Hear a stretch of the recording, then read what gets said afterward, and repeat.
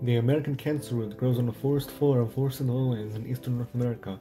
Without chlorophyll, the green pigment that aids most plants in photosynthesis, it gets nutrients from other organisms. These perennials are holoparasitic, stealing sustenance from tree roots, primarily oak trees. After about four years of stealing enough energy from its host, C. americana produces flowering spikes, which are the part of the plant that are seen above the surface. They are cream colored and often 20 centimeters tall, often growing in erect clusters. Their genus name refers to their scaly cone-like appearance.